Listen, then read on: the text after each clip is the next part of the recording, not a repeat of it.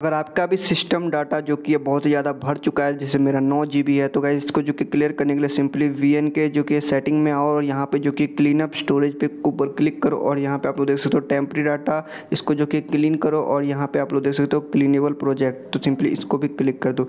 ये क्लियर हो गया, ठीक है, एक जी उसके बाद सफारी की सेटिंग में आओ। सेटिंग में आने के बाद clear history and website data को के ऊपर क्लिक करो और क्लोज ऑल टैप्स के ऊपर क्लिक करो।